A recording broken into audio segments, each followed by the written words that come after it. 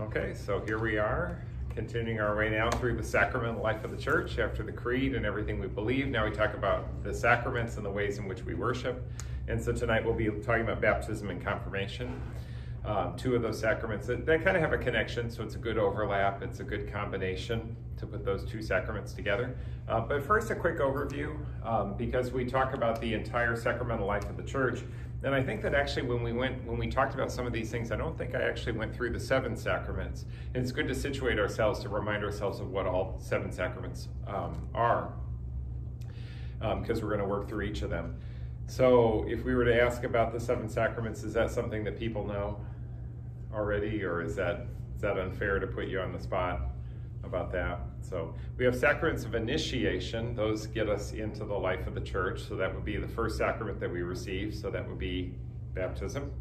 And then also um, amongst the other sacraments that initiate us into the regular life of the church, so that when we go to Mass, we're able to receive communion. So that would include the sacrament of the Eucharist.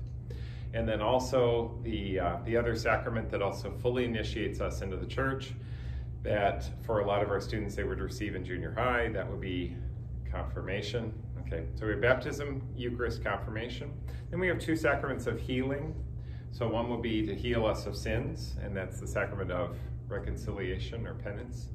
Um, and then the other sacrament of healing is when people are, in fact, physically ill, when they, or just simply from old age, they might receive the sacrament of anointing of the sick. Okay, is that, you've heard of that as well. So anointing of the sick, that's another sacrament kind of classified under the sacraments of healing. And then after that, we have two more sacraments. Um, so after baptism, Eucharist, confirmation, um, confession or penance or reconciliation, those are all, those are all the same thing. Uh, anointing of the sick. Then we have sacraments that would indicate mission or um, undertaking one's vocation in life, so responding one's calling in life. So that might be, for this reason, man leaves his father and mother and clings to his wife, and the two become one flesh. That would be the sacrament of matrimony or marriage. And then also the other sacrament by which one is then selected for ministry um, or is ordained, that would be orders, sacrament of orders or holy orders. So the um, religious life would be another vocation, but it's not a sacrament. So religious life is a commitment that is undertaken through the acceptance of vows, but it would not be a sacrament. So when we talk about the different vocations, you have marriage, which is a sacramental joining of a husband and wife, holy orders, the ordination of a priest, a deacon, or a bishop. Um, and then you also have consecrated life, which is a state of life and uh, but it is not a sacrament, but does does encompass vows. So so that's kind of the seven sacraments. The the Catechism does spend a little time at the beginning, just before starting baptism, talking just briefly about all seven sacraments, and that's the structure that's given is is separating out sacraments of initiation, healing, and mission. That's the that's sort of the the suggestion that's made there. It's not the only way that you can think about the sacraments or group them, but those are the seven sacraments and one way at least of grouping them or considering them. So now we'll talk specifically about baptism. So baptism, or the, this is the beginning of one's life in Christ, and it's done through the pouring of water. We think about baptizing people. The word baptize itself is it comes from as a root word to mean to plunge or to immerse. So we get that sense of, of actually being submerged in water, and which is what we oftentimes associate with baptism. So literally that's the origin of the term. But it really is the basis of our Christian life. It is the gateway into beginning our life in Christ. It is the first sacrament that people receive because the it is uh, one cannot receive any of the other sacraments until they first receive baptism. So that's that's an important thing. We're, we're actually getting ready over in the school um, We're preparing some students who are going to make their first confession and for their first communion, and it turns out we had a couple students who were um, not yet Catholic, but wanted to become Catholic so we could prepare them. And it turns out I found out in one case we had a student that wasn't baptized, but the student made his first confession. No, he didn't. so, okay, not really. Because until you're baptized, you can't actually receive any of the other sacraments. So then we sat down and explained to the family that actually baptism will forgive all sin, but you do have to be baptized before you can make your first confession, first communion, all of those things. So it is the so that gateway sacrament or the beginning of our life in Christ. Um, we do talk about the idea of it also being a sacrament of enlightenment. Baptism is, is it also accompanies enlightenment because it does involve catechetical instruction. We are actually learning the faith. Baptism isn't just something that you mechanically go through as if it's like waving a magic wand and then just suddenly, you know, this this is this is all that's involved. We pour a little water, we say the magic words, and then everything is done. No, we want, in addition to receiving the sacrament of baptism, we want people, in fact, to be catechized into the significance of this moment. So we want them to know and to be enlightened about what it is that they're entering into, about this relationship they, they have with Jesus Christ. So when the fathers of the church talk about baptism, sometimes they would use terms about enlightenment, about being enlightened, being anointed. Baptism is sometimes described as an anointing, and we do have anointing that takes place as part of the ritual, and I'll describe that in a moment. Um, it is a gift. It is a, it is a free gift. And this actually is really a remarkable thing to not underestimate, is that the uh, baptism is not something that we in any way merit or deserve or earn. We enter into baptism um, clothed with original sin, and so really not deserving God's mercy. And it's a free act of grace, as a pure act of love. We can say that God gives us through that sacrament sanctifying grace, gives us new life in Christ. And this is something God wishes to do, but it is important to realize that um, so we don't we don't merit it or deserve it or earn it. It is, in fact, a free gift. It is a grace that is given to us. It is a clothing. We are clothed with Christ, and we'll even talk about uh, using white garments to symbolize that, that clothing as well. And sometimes it's also referred to as a bath, so to be bathed. And this is something that uh, is also used. This, these are some images that we'll, we'll end up um, speaking about a little bit as we go through the sacrament.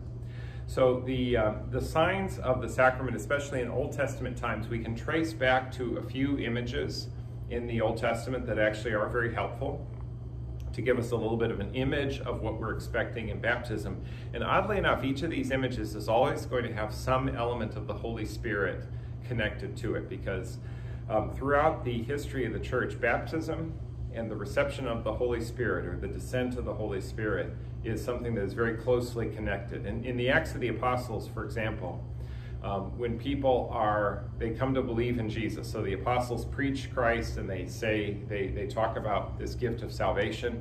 When they come to believe, so they first hear the preaching, they accept it, so they're accepting that, that message of the gospel and they believe in it.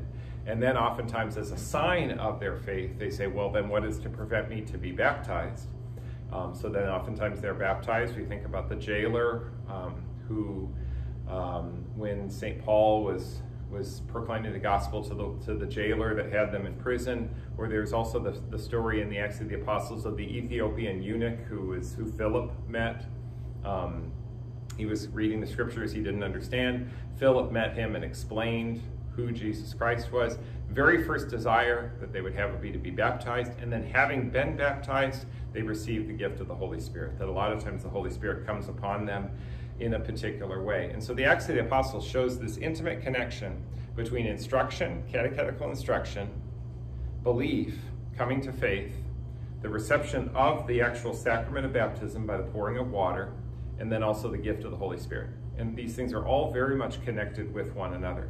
So when we look at Old Testament images of some of these things, and we look especially for signs of water, we can actually go back to the first chapter of Genesis and to the idea of creation itself. It is that the very opening part of Genesis talks about when the earth itself was a formless waste, the Spirit of God hovered over the waters, and then out of the chaos of the waters actually comes forth creation. And this is part of the imagery used in Genesis chapter 1.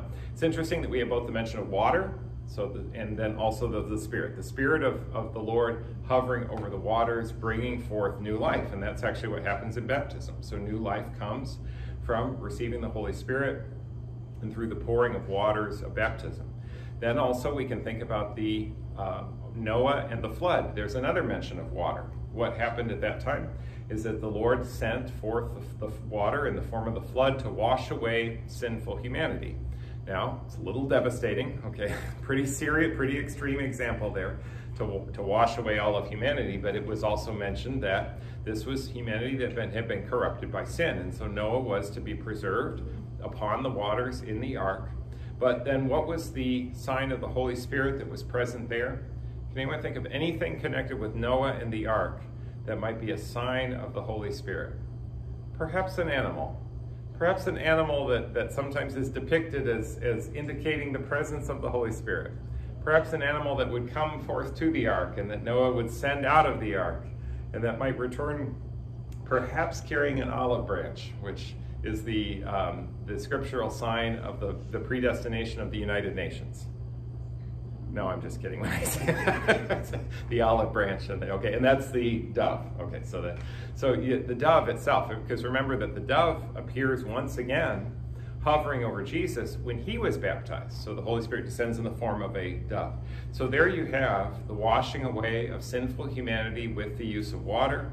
But we also see the presence of the Holy Spirit giving a sign of hope, bringing that, that sign, uh, the olive branch, the sign of hope, and the sign, in fact, that Noah, in fact, would be saved and that they would come once again to dry land. Um, and so water was a powerful instrument for the cleansing of sinful humanity, for the restoration of humanity, which was then reborn through Noah and through his line, as according to the, the tradition from that, that uh, or those early chapters of Genesis. Then if we were to go forward from there and we were going to look for more signs of water, the next sort of major sign that uh, in, in, in, the actual sacrament of baptism, when we bless the water, all these things are mentioned. So the prayers that we use, they mention these various things about the waters of creation, the waters of the flood. The next one after that come the waters of the Red Sea. And you remember Noah, or remember Moses, remember Moses crossing through the Red Sea. And if I could sing in, in some particular way, I might I'd, I'd, have to hum the theme from the Ten Commandments and the dramatic scene of, of Noah stretching out his hands so that way the waters would then in fact be pulled back. So that way the Israelites could cross through the Red Sea, crossing on dry land with the waters like a wall on their right and on their left, them passing through the midst of the sea. And so it's a, a remarkable moment in which passing through the waters, they actually pass from slavery into freedom slavery from the Egyptians, then passing into the freeborn, being becoming freeborn children of Israel. But when we talk about the sign of baptism, we talk about entering into baptism and passing through the waters, starting as slavery in slavery, but slavery to sin, and then passing through the waters and now emerging this time as freeborn children of God. Not just the sons of Israel, but now sons and daughters of God. And so there's a, a, kind of a parallelism there, which is very good. And where might be a sign of the Holy Spirit? This is a, it's not a trick question, but it is kind of a, sort of a hard one to maybe grasp onto immediately. Is that when we think about how it was that they came to the Red Sea, is there any sign of the Spirit that would have been present there? Anything that would have led them forth and protected them and, and been their guide? Is that, do you, I don't know if you remember this depiction, but when, uh, when they were following the Moses and following that path and then being guided through the desert. You remember that they were following the, the pillar of fire by night and the pillar of cloud. There was there was the cloud that was present and then the pillar of fire that was there by night. And there actually, I think, is again once again a little sign of the Holy Spirit. So there's always this connection between the guidance of the Holy Spirit and the use of water for purification or for freedom to be to being set free. And then of course when we go into the gospel itself, now we start to talk about Jesus Christ himself and baptism. And of course, one of the first things that we might think of in terms of baptism is we would say, well, Christ himself was baptized. Remember what happened with John the Baptist. So John the Baptist was baptizing in the River Jordan. He was calling people to repentance. This is the perfect time to talk about that during Advent because we hear about the call of John the Baptist calling us to repent. So Jesus repented of his sins, right? And went down into the River Jordan to be baptized? No. okay. Remember how John the Baptist even protested. He says, This isn't right.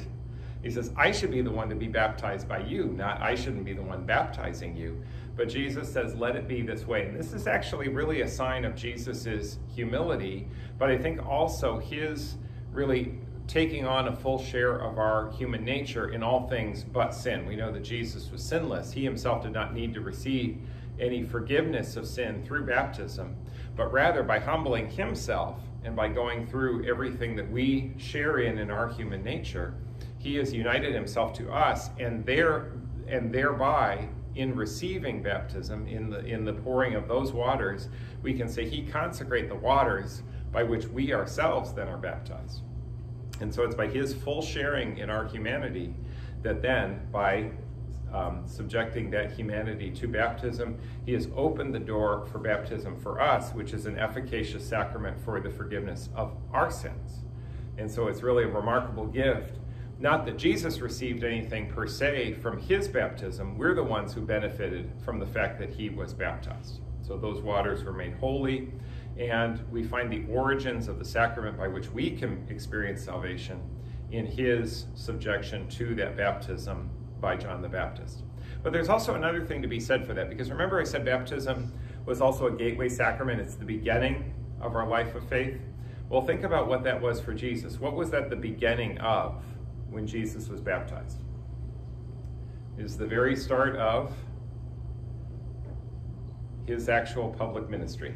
So is the yeah when we talk about Jesus's the three years of his public ministry, so we the Gospels all point, so Matthew, Mark, and Luke all point back to, so Jesus starting his public ministry, which there were two events that um, that that marked this. One was his fasting in the desert. So he went out into the desert where he experienced the temptation in the desert, and then also his baptism. And that's present in Matthew, Mark, and Luke. We get all um, in each of those Gospels. We are pointed to those as, as um, essential elements. It really begins his public mission. So he had already begun his life on earth, and that hidden life in Nazareth then mm-hmm. transitioned into his public life, and baptism was the beginning, you might say, of that public mission or that public ministry that is there. Just as we start the beginning of our life of faith in Christ from the moment of our baptism. And we can say that that then continued forward Jesus' mission, then to proclaim the kingdom and to bring salvation through his death and resurrection. And then what was one of the very last things that Jesus said to the apostles before he ascended into heaven? This is a famous line that comes in Matthew's gospel. He gathers the disciples together. He says, All power in heaven and earth has been given to me. And so then he gives them a great commission. He says, Then go forth and baptize, go forth and make disciples of all nations, baptizing them in the name of the Father and of the Son and of the Holy Spirit. Christ's public ministry opens with baptism, his baptism, and it concludes with baptism, the commission of the disciples to go out and baptize. So that underscores really the, the fundamental centrality of baptism, just how critical baptism is in our life of faith. But even more than that, we can also look to certain moments in Christ's life itself, even in the midst of his, in his mission, especially around his crucifixion, in which baptism is also mentioned. Remember that Jesus talked about the fact that he would have to go through his passion. He would tell the disciples, the Son of Man is going to be then mocked by the chief priests and scribes and, and um, scourged and uh, crucified and put to death, but on the third day he would rise. And when we have James and John. There's a famous scene in which James and John are, are asking Jesus for a special favor. They're saying, "Oh well, give us this privilege. Let us to sit. Let us sit at your right and at your left when you come in glory." And Jesus doesn't tell them no, but he doesn't exactly tell them yes either. He puts a question to them. He says, "Can you endure the same baptism with which I will be baptized? Um, can you drink from the same chalice from which I shall drink?" And all of this is a veiled reference to his own passion. So when Jesus talks about drinking from the cup, he says, you know, the uh, would that this cup could pass me by, but not according to my will, but, but thy will. And Jesus was referring to that the night of the agony of the garden. Uh, he was referring to his own passion. So the idea of drinking from the cup, meaning to share in the passion of Christ, the idea of enduring a baptism, being baptized with Christ as an actual sign of his passion. So we can actually refer to Christ's uh, passion itself as, as a baptism, a baptism by fire, you might say, or maybe to use that image of a trial that is there. But he even uses the term baptism to speak of that. Because one of the things that we say about baptism, so, so Jesus died on the cross and we refer to that as a baptism, St. Paul uses a wonderful image in Romans chapter 6. It's a, it's a fascinating passage. It's, um, we read it at Easter time. In fact, it will come up in the Easter Vigil itself. It will be one of the readings in the Easter Vigil. He says, Do you not know that when you were baptized, you were baptized into Christ's death? And then, having died with Christ, then you will also share in his resurrection. And the reason why we talk about baptism as a kind of death, as a kind of dying, is because baptism is a moment for us to leave behind the old man and to be reborn in Christ. It is a death. We are, we are dying to self, we are dying to sin, we are dying to the old man so as to be reborn in him. So baptism in some ways actually is a death, and it's fittingly described that when Jesus would talk about his own death, that he would refer to that as a kind of a passage, a, a rite of trial, a baptism, um, a baptism in which, there on the cross, his heart would be pierced and blood and water would flow forth. And the church oftentimes holds up that scene of Jesus with the blood and water coming from the side of Christ, um, dem- demonstrating not only the blood, the sign of the Eucharist, the body and blood of Christ that nourishes us, but the water, blood and water, the water that comes forth from the side of Christ that washes us. And so we are actually washed clean by the power of the act of redemption that occurred in Jesus' death, in his passion. So that's how uh, salvation was won for us. So, so we might even kind of look at all of these different things This really connections in Christ's life to baptism. From the beginning of his public ministry at the River Jordan with John the Baptist, the very end of his ministry when he commissions the disciples to baptize, and even in the middle, there as Jesus goes to the cross itself, which he refers to as a kind of baptism, a kind of death. And so that really, it, it underscores some of the remarkable things that uh, become a part of baptism. And so then later on in the Acts of the Apostles, so for example, when Peter goes out and preaches his first great homily on Pentecost Sunday, he's, it's on Pentecost that Peter then proclaims Jesus Christ, and it's this fabulous moment of courage, which the timid disciples then suddenly are filled with great courage, and they talk about the need for, for uh, those who had crucified Christ or those who had uh, led to his death to convert, repent, and be baptized. And that's what he calls them to do. And the scriptures say, I forget what the number is. He says, then they say some 3,000 were baptized that day or some 5,000. I don't I forget the number. It's a, a, a, very, a large number of people were baptized that day. Peter calls them to repent. And that is one of the things that we talk about in dying to sin, in repenting. So baptism is a sign of repentance. Um, people went out into the River Jordan because John the Baptist was calling them to a baptism of repentance. And so baptism is, in fact, a time for us to repent. So we turn away from sin and uh, for those who have already been baptized, we will renew your baptismal promises. And it's a time for us to say, Yes, I am still committed. I renew my commitment. I reject Satan and all his empty promises and all his empty show. Um, so, the uh, uh, Satan and all his works and all his empty show. Um, we reject those things. We turn our back on them, and that is a renewal of the commitment that we made in baptism. Um, so, those are some wonderful scriptural um, comments that we could make uh, uh, about baptism itself, from the imagery in the Old Testament up through the actual mentions of baptism in the Gospels and in the Acts of the Apostles. The, the pattern then for baptism itself, and we can say that this is something that, that draws from what I've already talked about in its scriptural roots, but it's also something that was present in the early church, is that baptism would occur through the preaching of the word so the, the, the gospel would be proclaimed. People would accept the gospel.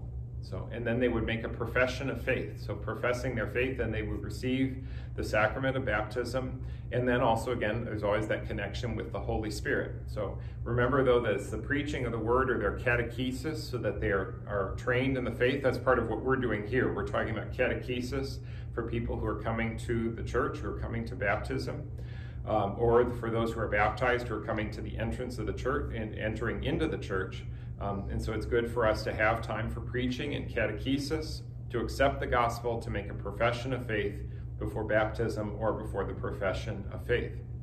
Here's the one challenge to that though.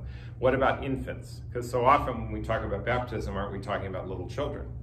So for infants, there's no time, there's no point in actually spending a long time catechesis, uh, in catechesis. So I could take a, the one month old and I could say, now remember, okay, now let's practice making the sign of the cross. and we take the little child and, you know, and that obviously that doesn't, that's not going to make any sense. So infants aren't able to go through any catechesis prior to their baptism. So when we talk about infants or when we're talking about young children, their catechesis has to be post-baptism. Whereas for adults or for those who are old enough to understand, we want their catechesis to be pre-baptism. So that's kind of the custom. It's almost sort of a two-track system then it developed from some of the early days in the church. If you're old enough to understand, and that's why we're doing these classes. This is your pre-baptismal catechesis for those who are not baptized. So we want that catechesis to take place beforehand, but for infants it will have to take place afterwards, which is why when for the baptism of infants we impress upon the parents, we say, do you accept this responsibility, the responsibility of training your children in the practice of the faith? And so it's an important part for infants because the parents are then accepting a, an important responsibility. For the rite itself, um, so let's talk a little bit about what happens in the ritual of baptism. And this is going to be true for the baptism of infants, which you might see. We had a baptism on Sunday at 10 o'clock, so um, if you were there for that, you might have actually seen a baptism. I don't know, has anyone seen a Catholic baptism recently? Has it been a while? since you've seen one. Okay, so let me just kind of go through the rite. But this is not necessarily that different from what we would do also for RCIA or what we would do at the Easter Vigil. So one of the first things we do in the ritual is we cross the child. So the, the cross is traced on the forehead of the child to be baptized. And there are also moments, and this would be done actually in some of the scrutinies that would take place in your acceptance into the catechumenate. There's also a moment of of tracing the cross, of being anointed with the oil of salvation, or tracing the cross on one's forehead. It's a sign, it's a, it's a sign that we are marked by the cross of Christ. In the same way that we would make the sign of the cross and we would impress the cross on ourselves. Um, so that is a symbolic recognition that we belong to Jesus because that the sign of the cross has been impressed upon us. Another thing that's important in baptism is to proclaim the word of God. So it's always good to bring scripture into any of the celebration of the sacraments. So that's done through a brief reading of scripture. If it's an infant baptism at the Easter Vigil, we will have scripture. We'll have a lot of scripture actually. So you'd say we get extra readings at the Easter Vigil. So always good to have the Word of God. Another thing that happens is a prayer of exorcism, which that sounds very dramatic because people think of a horror movie from the 1970s. Um, but when we say exorcism, to, uh, exorcism is every time there's a prayer of blessing, we would actually call that a minor exorcism, meaning anytime you want to bless an object, it's we're casting out any evil influence because we want the object itself to be blessed. And so the idea of casting out the power of sin, there's a prayer which technically is called a prayer of exorcism, a minor exorcism, but there is a prayer that is said for the, the infant children and uh, for an infant baptism, that would be the moment at which then symbolically over the heart, they receive the oil of salvation. So they're anointed with one of the holy oils that we use in the, in the sacrament of baptism um, in connection with that exorcism. And then after that, we have the blessing of the water. And at the Easter Vigil, we will do that as well. So we'll bless the water that which we will use for baptism. The Easter Vigil will actually even bring over the Easter candle and the Easter candle itself will be submerged in the water, which is another sign of, of the grace of Christ entering into, literally entering into the water. So as the candle itself is submerged into the water, um, as a sign of the way in which Christ blesses that water. And then we have the moment of baptism itself, the pouring of water, um, with the recitation of the formula, I baptize you in the name of the Father and of the Son and of the Holy Spirit. So the, pouring of water with that ritual, that's the actual moment of baptism proper. And of course, we'll do that at the Easter Vigil as well. Um, after that, then there's the anointing with chrism, which shows that we receive the uh, royal dignity of Christ as priest, prophet, and king. And so there we use the sacred chrism. That's another one of the holy oils, and that's given on the crown of the head for infants um, when it comes to the Easter Vigil, we will use the chrism, but this will be actually given on the forehead in the sacrament of confirmation, which we're going to talk about before we finish tonight. So, that, so one way or another, the, the oil of chrism is applied. And then I mentioned the idea of being uh, washed clean and having white garments as a, as a symbol of baptismal purity, of being clothed in Christ. So the idea of clothing. So then there's the idea of clothing people in a white garment, the placing of a white garment as a sign, as an outward sign of the uh, of the inward grace that's been given, that sanctifying grace that's been given in the sacrament. And they're given a candle, a baptismal candle that's lit from the Easter candle, because remember, Jesus says, You are the light of the world. And so we then carry that, that light of that baptismal candle, a light that is to be kept uh, burning brightly, so we might be faithful witnesses to Christ. Uh, if the person is old enough to receive communion, and this is this will happen at the Easter Vigil, those who are baptized and confirmed then will also make their communion um, at that same time. Uh, but then receiving communion, that also completes their initiation into the church. Um, so I mentioned a moment ago about the different oils, and baptism is also a kind of anointing, uh, being anointed by God. And so I should say a little something briefly about the different oils. Um, up in the sanctuary itself, and I was going to mention this in the church tour, but I had too much to talk about and I forgot to, to mention it. But there's a little niche in the side wall, and there's a glass door, and we actually keep the different holy oils present there. And these are oils that are blessed or consecrated by the bishop every year. There's a, a gathering we have, a chrism mass, where the bishop blesses the new oils and they're distributed to all the different parishes so that way we have these oils. So it's a connection then that we have with the bishop. And so it's essentially an olive oil. That's the base, basically what all the oils are. Um, one of them is the oil of salvation. That's the one that's given symbolically over the heart, um, or that can be given at the entrance into the catechumenate. Um, and so that's a, a, blessed oil. There's another one that is the oil of the sick. That's the one that we would use. We won't use that at the Easter Vigil, unless we have to call an ambulance because someone's dropped over or something like that they, that's the one where when someone actually is very ill for going into the hospital or the nursing homes, we might use the oil of the infirm or the oil of the sick to administer the sacrament of anointing, and that would be for physical and for spiritual healing.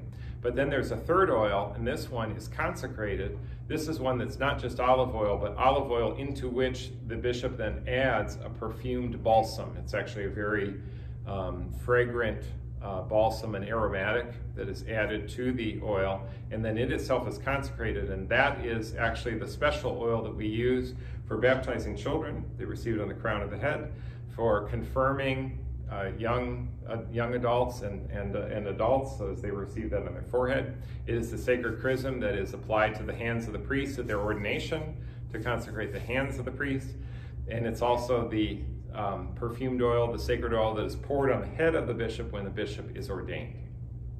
So, if the ordaining bishop wants to torture the baby bishop who's just being ordained, you can pour too much on, and then, and then it will be, as the psalm says, oil running down Aaron's beard. there's, a, there's a psalm that mentions the idea of the, the oil coming down, the, coming down upon the garments if too much oil is applied. But that's that's the sacred chrism. And sometimes when people, when we use that at confirmation or baptisms, you can even kind of tell, you can smell the, the, the perfumed oil. So it's, a, so it's an, an exquisite oil really as a sign of the presence of the Holy Spirit. So those are some of the different oils that are used. Um, baptism itself can be received only one time. The, uh, the, the good news about baptism is it forgives all sin. The bad news is you can only receive it one time. Would that you could just be baptized as many times as you wanted and your sins could just be forgiven again and again. No, so they, but the, the, the complete get out of jail free card, the total um, gift of the remission of all sin comes once through baptism. Um, forgives all sin. It forgives not only original sin, the sin that we inherited from our first parents, Adam and Eve, but also any actual sin, any personal sin that anyone has committed is all of that is forgiven and remitted in baptism. Uh, baptism uh, strengthens the gift of faith. So as we come to faith, so faith leads us to request baptism, but baptism also strengthens the gift of faith and helps us to grow in that faith as well. Um, the people who can perform baptism, the ordinary ministers of baptism, will be any cleric, so that would be a deacon, a priest, or a bishop. Um, but if it is a situation of an emergency, if it is a true emergency, and there is someone who has not been baptized, anyone, any layperson, can and should baptize in an emergency by pouring water and by saying, I baptize you in the name of the Father and of the Son and of the Holy Spirit. That is a valid baptism. Um, but ordinarily we would not recommend people to do that, but in extraordinary circumstances, it is appropriate to do that. Um, the Catechism talks about baptism by water, which is the normal sacramental way of administering baptism. But there's also two other ways in which baptism is conferred theologically. So, theologically, we would talk about baptism by water, but we'd also talk about baptism by blood and baptism by desire. This is a very brief part of the Catechism, but it's just worth at least mentioning that baptism by blood would be those who are martyred for the faith. That if a person has not yet received baptism but dies for the faith, that is equivalent to being baptized because through the shedding of their blood, they in fact would receive all the effects of baptism, having given their life for Christ. So, um, so for the martyrs, baptism by blood is, is, is considered also uh, a way of being baptized. And then the baptism of desire. This would be the idea of someone who wishes to receive the fruits of the sacrament, but either doesn't know Christ or but if they did they would want to receive them. And so this notion that out of the desire of the heart to, to follow god to do what is right um, that uh, so especially for people who've never heard of christ or who never had the opportunity to receive the sacraments can they in fact be saved? The church would say yes the possibility is held out for them through baptism of desire. The thing is when we talk about baptism the, the by using baptism of water, that is the sure method, meaning we can, we can show through the external manifestation of that rite that you have, in fact, received the sacrament of baptism. These other two, baptism by blood and by desire, are not. They're, they're not certainly baptism by desire is harder to pin down. So it's that's why we'd like to go through the objective um, administration of the sacrament by which we know that the fruits of the sacrament have been bestowed and received. So we certainly show a preference for baptism by water, but those other two forms of baptism are do exist as, um, as at least a refuge in particular um, when baptism by water either hasn't been or cannot uh, be received. So anyway, that's just a quick aside on that, um, on what's kind of a complicated thing. Um, some other aspects of the consequence of baptism, the fruits that come from baptism, not only forgiving sin, we are remade as a new creation. So baptism makes us into a new creation in Christ. We become a member of Christ's body. So we, we are grafted onto the vine, to use John's gospel for that. So we become a member of his body.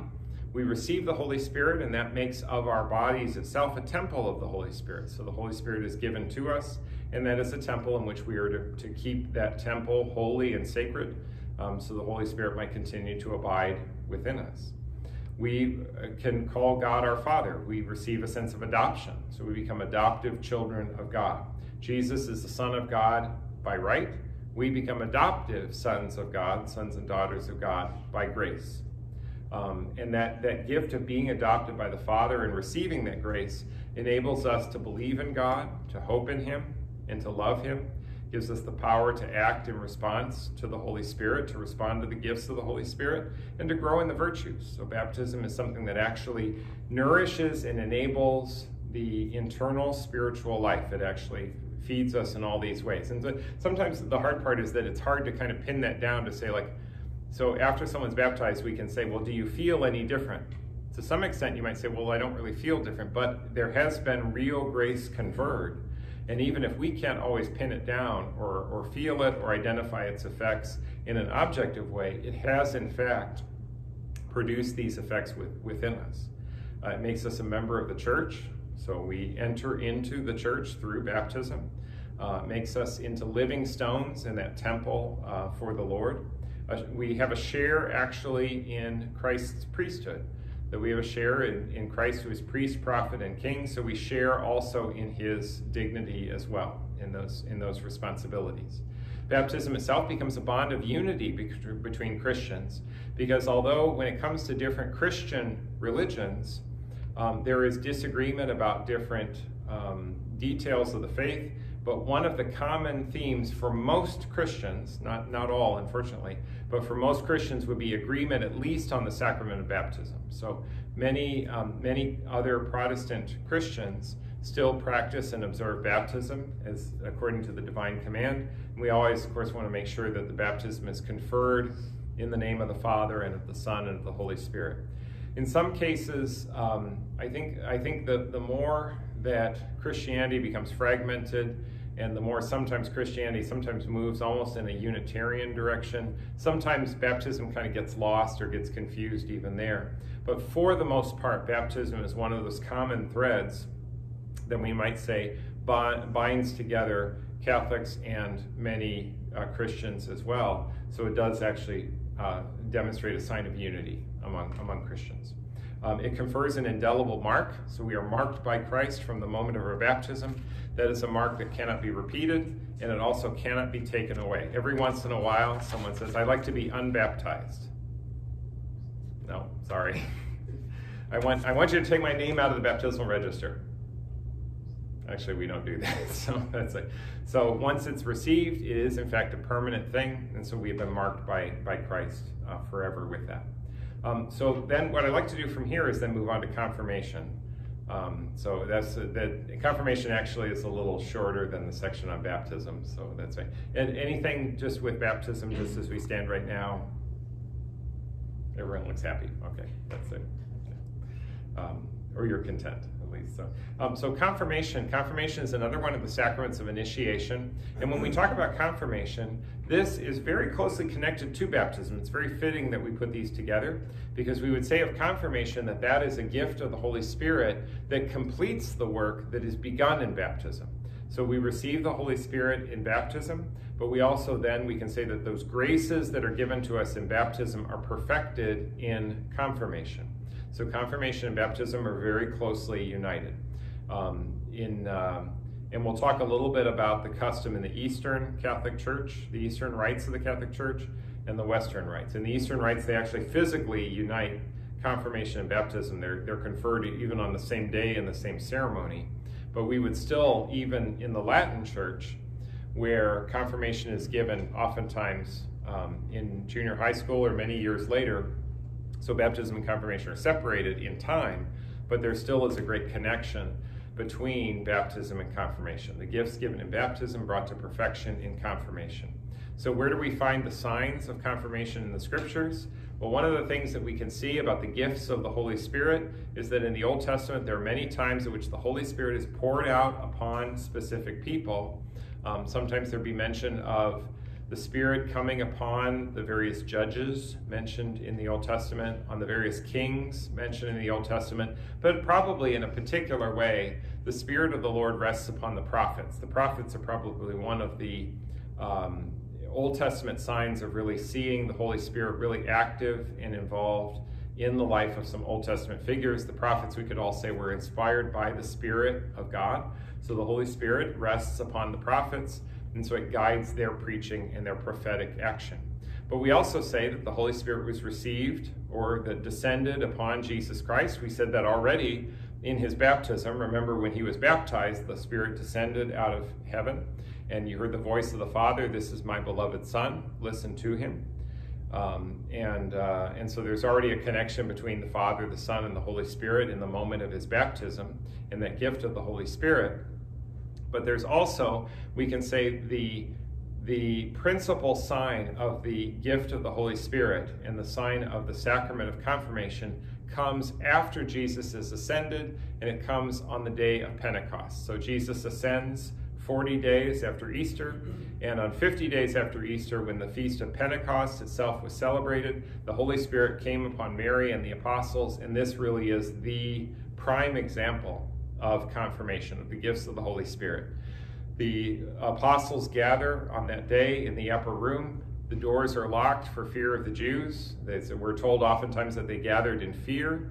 And so, even though they knew Jesus had risen from the dead, they still were not yet um, filled with the, with the courage and zeal. They needed the gift of the Holy Spirit to fan into flame the courage that they should have in order to witness to Christ. And so that happens to them um, on the day of Pentecost, and Christ even said that it would. He says, "I'm going away from you." This is in John's Gospel.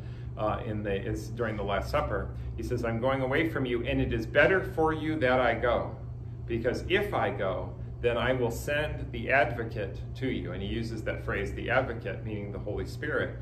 Um, and he will remind you of everything that I said. And so the, the gift of the Holy Spirit is actually really an essential aspect of Christ's mission. In other words, not only did he come to proclaim the gospel, to suffer and die for us, to accomplish our, our salvation through his death and resurrection, but then to bring it truly to completion, the Holy Spirit then also had to come in order to complete that work and to invigorate the apostles as they would then continue to, to bear witness to Jesus Christ.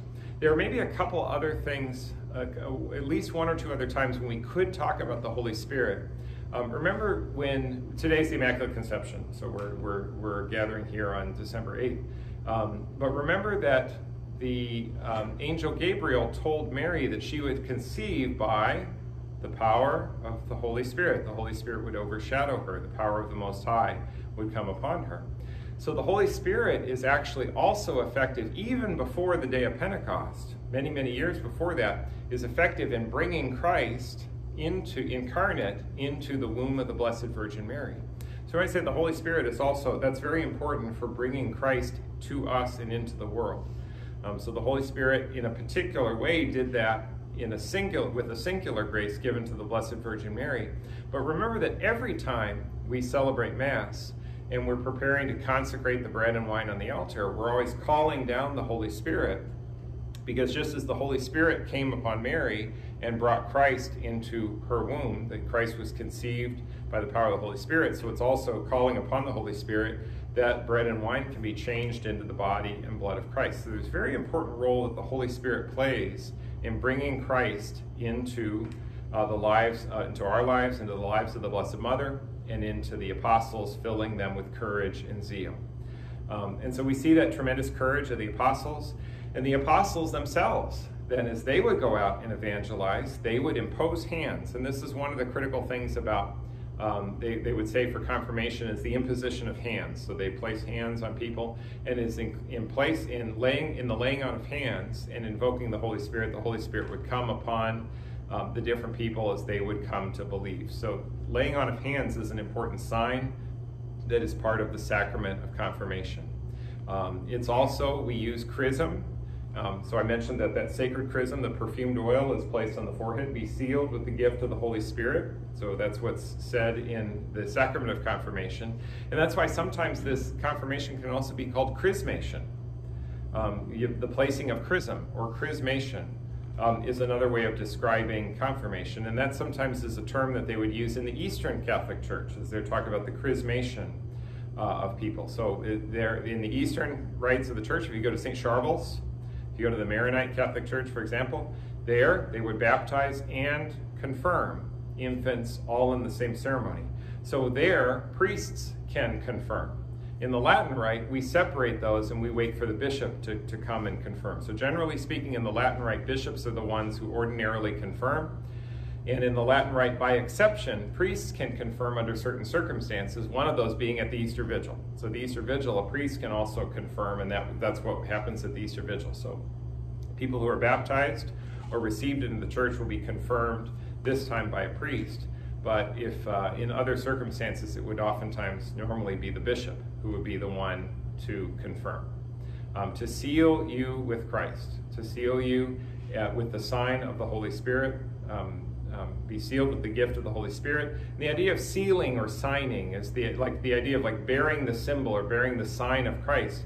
In some ways, it kind of has almost a military image of like you think about soldiers carrying a certain seal or an image or a shield that's emblazoned with the sign as their allegiance or their loyalty of to whom they belong. And so, also with the sacrament of confirmation, we are sent out, you might say, as soldiers into the world. Soldiers for Christ, missionaries for Christ, bearing witness to Him, and we carry the seal of Christ Himself into the world to bear witness to Him. Um, it is an important thing as we receive confirmation to renew our own baptismal promises, and this is something that you will hear us do at the Easter Vigil. We will ask you to re- renew your baptismal promises, to reject Satan, to profess your belief in the Father and the Son and the Holy Spirit, and then having renewed your baptismal promises and been sprinkled with the holy water that's blessed that night, again, a reminder of baptism, then after that, there will, will come the moment of confirmation. So, baptism and confirmation, very closely connected in our ritual, which you will see at the Easter Vigil.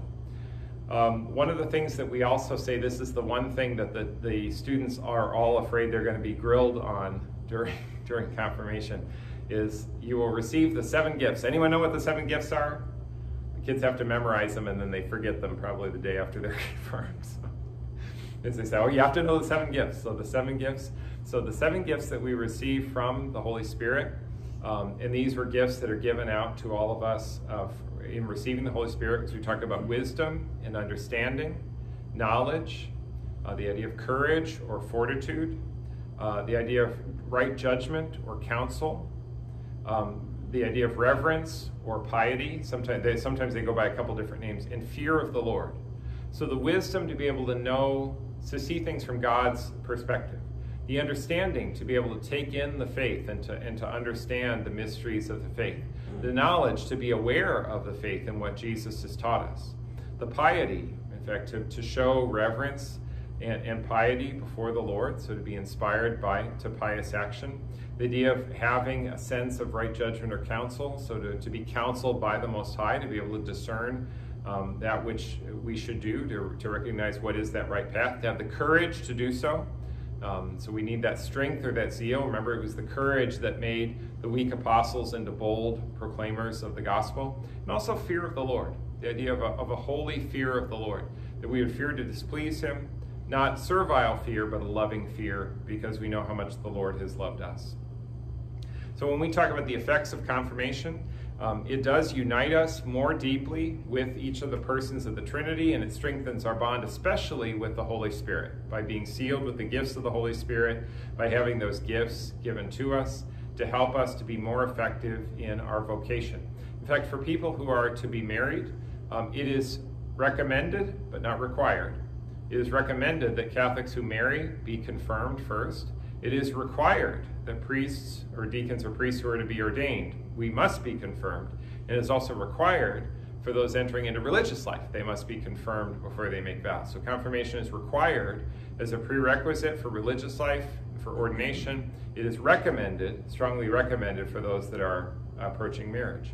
It, it also gives an indelible mark. We are marked um, so permanently, uh, just as in baptism, by the gift of the Holy Spirit given in confirmation. It empowers us to be a witness to Christ.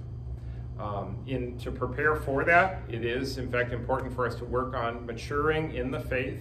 We want to grow in our faith so that we, we are ready to accept the responsibilities of uh, becoming like an apostle uh, in the church, and then we should also be in a state of grace when we receive confirmation.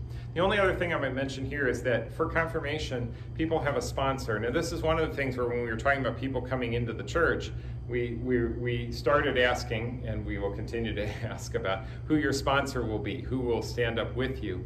And for baptism, we, taught, we call them oftentimes godparents.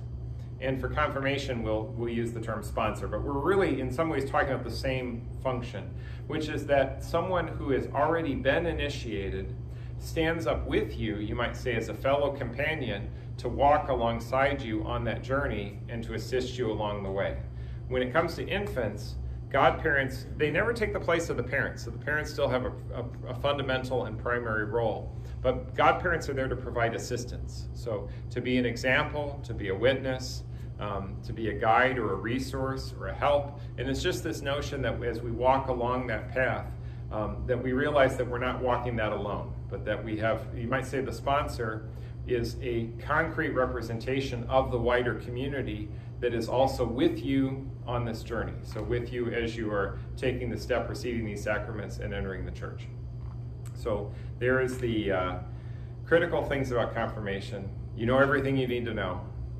Well, that's okay. Well, it's a, that's, it's a lot of material, but for baptism and confirmation, those are a lot of the critical things. Um, so we'll ask the Lord to help us to be ready to prepare for these sacraments, um, and we look forward to conferring them at the Easter Vigil. Um, and so let us, especially today on the Immaculate Conception, we'll just ask for the intercession of, of the Mother of God, and we'll say, Hail Mary, full of grace, the Lord is with thee. Blessed art thou among women, and blessed is the fruit of thy womb, Jesus. Holy Mary, Mother of God, pray for us sinners, now and at the hour of our death the name of the Father, and of the Son, and of the Holy Spirit. Amen.